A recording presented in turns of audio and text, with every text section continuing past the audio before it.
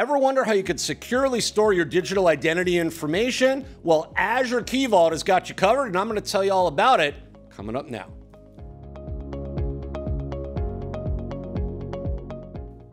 Hello, everybody. My name is Adam Gordon, an edutainer here at IT Pro TV, back with another exciting episode in our What is Azure serial.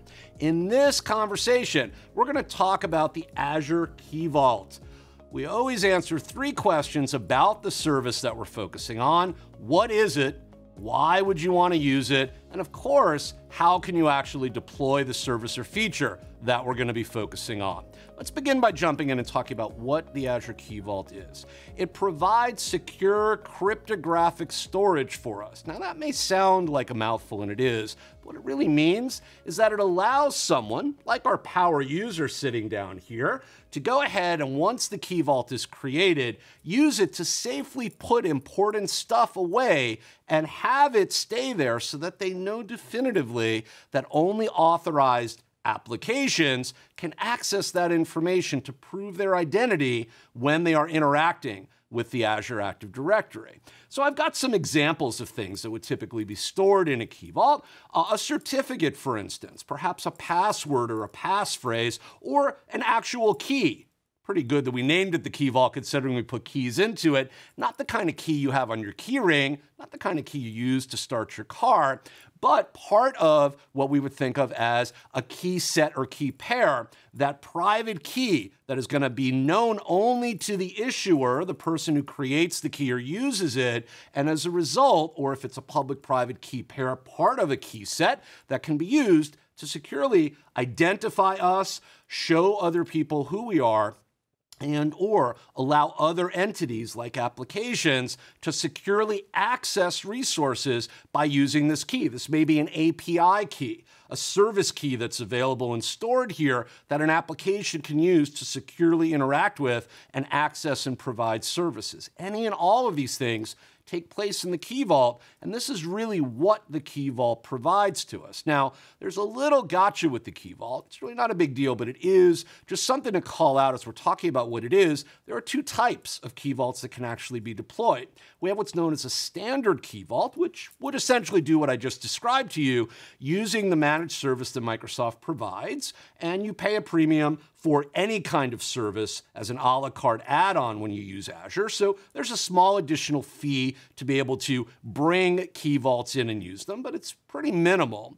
But when you use a standard key vault, we get basic services, but the Key Vault is hosted by Microsoft on infrastructure that other tenants, other Azure customers may use. The Key Vault is dedicated to you, to your Azure Active Directory instance, to your applications. You're going to have exclusive use of it, but it's going to commingle and coexist with other tenants' key vaults. We're not worried about that. Microsoft does a really good job of security, but we just want to know it does live that way. When we think about the second kind of key vault, what's called an HSM, a hardware security module backed key vault. This is a premium level key vault. Again, we pay an upcharge for that. We get a dedicated piece of hardware, this external little USB thumb drive, you could think of it almost looking like, that stores the key vault and all the information we put on it separately so that we have a little additional security if we need that level of security. So we've dealt with what the key vault is, the kind of services that it may be able to provide, really help us to begin to shift and answer the question, why would we want to use it? Perhaps a developer, just like the one sitting down here, has gone ahead and has created an application for us, right? That's going to be pretty important. We like applications on the Azure platform. They're web enabled, they're available for users both inside of our Azure Active Directory, so users that are going to be inside of our organization, but potentially can also be made available to users from outside, depending on how we choose to set them up.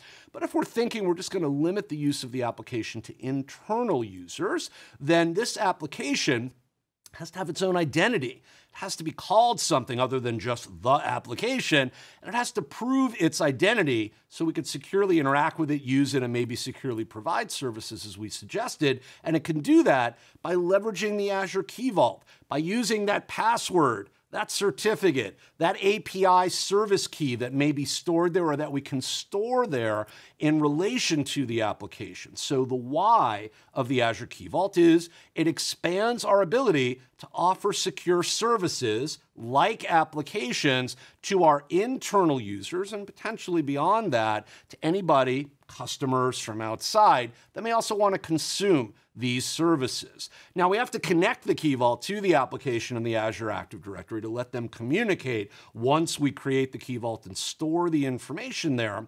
We have authentication requests that the application may make and need access to these resources to facilitate. So we typically would draw a line coming over this way and we would make this line bidirectional, indicating this flow that the Key Vault and the Azure AD are interacting. But the reality is the line passes through the application on its way to the Azure AD. I just didn't want to nick my cloud at the top there. It took so long to draw it and make it perfect for you. But you can imagine that what we actually are seeing is this communication taking place here, right? Bidirectionally, we would imagine a line that goes straight through. And by doing that, we're allowing the application to securely access those resources that allow it to identify itself and to use them in relation to the Azure Active Directory to interact with users when they consume services. So we've seen the what, talked about the why.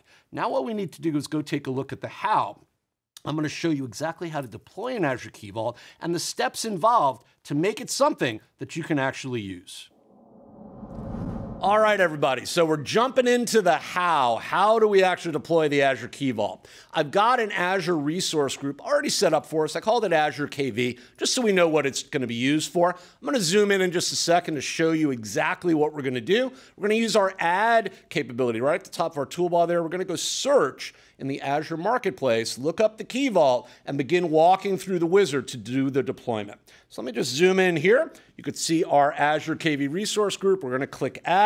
We're going to go to the Marketplace. This is just the area where all the Azure services and featured capabilities are available. If we don't see what we want automatically, we can browse by category. We could just start typing in in the search area here what it is we want. And sure enough, you could see as I do that, anything with the word key and the word vault and it shows up. We're going to choose Key Vault. This is the Microsoft Key Vault solution. That's the icon we're looking at. We're going to be able to see a little bit of an overview here if we want more information, what the plans are in terms of the standard versus the premium that I mentioned, and we can click Create. We're going to go ahead and do that. And when we click Create, we're going to get our little multi-tabbed wizard that we often use for many of these activities. We're going to go ahead, scroll down, we're going to note here, even though we're not going to be able to need to make, I should say, a decision about a resource group because we're already starting out in one, we do have the option to create a new resource group if we need to.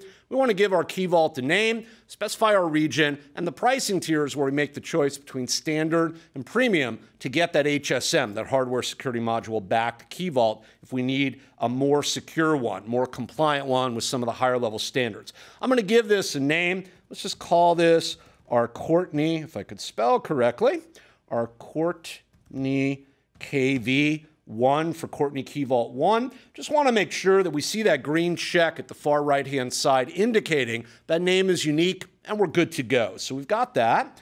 We're then going to come down here, just take a look quickly at our pricing tier option. And notice that we do have standard and premium, which does have the HSM backed capability. And we always can go in and use our little information dialog there to get more information, follow a link typically, and find out pricing and any kind of details that we may need. We do have the ability here to specify at the bottom under our soft delete area, which is enabled by default, meaning we'll retain a copy of that key for a period of time if we choose to. We do see days to retain deleted vaults, meaning we have the ability to come back and get that information back if we inadvertently delete it. Default is 90 days. We can modify that, choose what we want to put there. You can accept the defaults or modify them. And we have purge protection. Notice it is disabled by default, default, excuse me, allowing the key vault and the objects to be purged during the retention period, meaning anytime during those 90 days I can go in and say, you know what, I just want to get rid of it. I don't want to wait the 90 days until it's gone. That would allow me the default setting to do that, but I can enable essentially a blocking protection. And when I enable, what that does is it says during the retention period, you cannot go in and delete that key vault and the keys until the retention period has expired.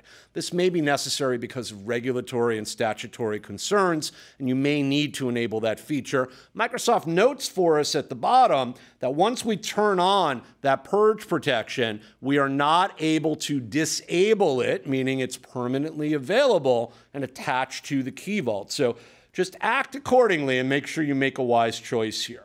All right, so we've done our options here. We're just going to go ahead and go to the Access Policy tab. This is where we can decide what kind of services we want the Key Vault to be made available for, we want to allow to have interaction with the Key Vault. Things like virtual machines can leverage the Key Vault.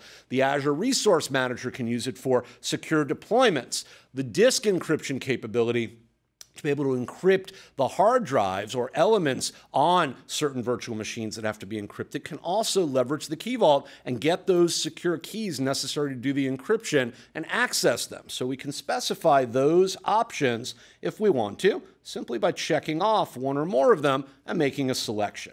We then have to choose our permission model. Do we want to use the vault access policy and grant additional access elements by using the add access policy and add users and or system services, uh, identities, in other words, that can access the key vault? And I'll show you what that looks like down below. Or there's a new option called Azure Role-Based Access Control. We can use pre-existing roles that are defined in the Azure Active Directory and have those be the elements that drive access to the key vault. It's up to us to decide. If I choose the Vault Access policy, you'll see that by default, I've already got my uh, assigned user, my alias O365 guy in there, and I've got key permissions that are selected, secret permissions that are selected, certificate permissions that are selected, and I can assign and define those as needed for individual users, stacking them up, granting them access. We're then going to go to our networking area. We specify our networking capability here. What kind of connectivity method do we want to use? Public endpoint, meaning any and all networks can see, interact with the key vault. Public endpoint, only selected networks from within the uh, list that I will be provided. And or private endpoint, meaning it can only be uh, a network, a private network that as you can see, I can specify here that is going to allow access to this resource probably for a small group of virtual machines or applications, maybe in a select area. You can think of this as almost like assigning its own subnet, if you're familiar with subnets, in your infrastructure. And we would do that when we want to narrowly define how we're going to grant access. So we make our appropriate choice here. And then if we want to use any metadata tags to identify the key vault, we can do that. And then we would click review and create. We wait for validation to run. We always like to see the green box that shows validation is passed, meaning we're set to go. We get our nice summary of everything that we're going to have happen here. Come down here, we click create. Within about 30 seconds to a minute, our key vault becomes available, and then we can begin to use the key vault for any number of solutions that we've defined and or business cases that match the criteria and the services that the key vault is going to make available. For more information on how to use the key vault fully and see how to develop solutions with it end to end, you can always check me out over at IT Pro TV, where we have a full selection of different Azure courses available for you until I come back with another exciting What is Azure serial episode. I'm going to wish you happy Azuring, and I'll see you soon.